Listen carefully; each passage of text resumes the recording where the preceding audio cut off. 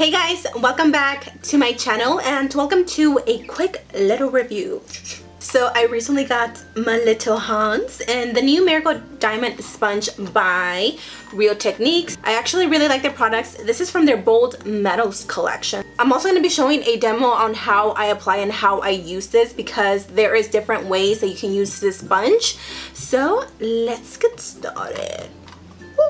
Okay, so this is what the product looks like. This is actually the sponge and then this is the little cajita that you are to be getting your sponge with.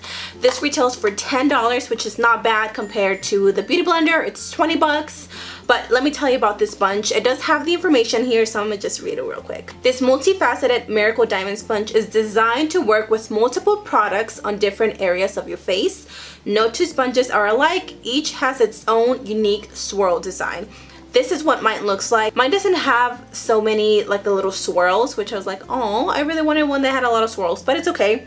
So if you guys order one yours is not gonna be like mine. It's gonna be totally different. So the top is used to buff and blend for a flawless finish.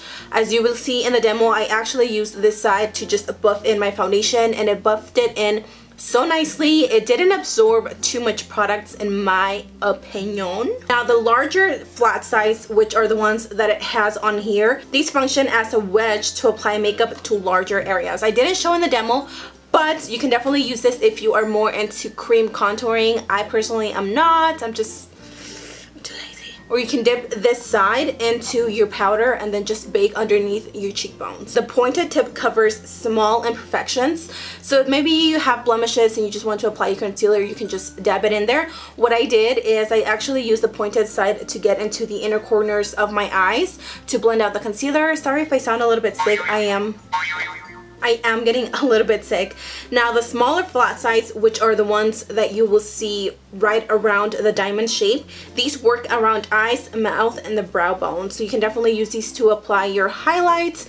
You can use these to like clean up underneath your mouth if you are wearing like a dark lipstick like I am today or you can use it around the eyes as well. I actually used this side to blend out my concealer and then this side just to blend it in into the inner corners. If you want to use it wet, it's definitely going to give you a more dewy application and they do recommend for you to replace the sponge once every, um, in between one and three months. Overall, I actually really like it. I think it's really cool how it has different sides and different shapes to do different things on your face. It's not just a one sponge that you can just use for a certain thing. I mean, all the sponges sponges that I own, I use them for whatever I want. If I want to wipe my nalgas with it, I will. So if you guys are interested in buying one, um, I will have a link to where you can purchase it and if you guys want to know more about it I will have all the information that you want to know but overall I like it. I think it's totally worth the 10 bucks. Okay guys and that is everything for today's video. I know that it was very quick and to the point but that's what I'm going to try and make my videos from now on it's just quick to the point. Sass sass sass if you guys aren't already, go ahead and hit that subscribe button for more amazing videos from me. I love you guys so much. I hope you have an amazing weekend. And I will see you chicas in Monday's video. Bye! Mwah.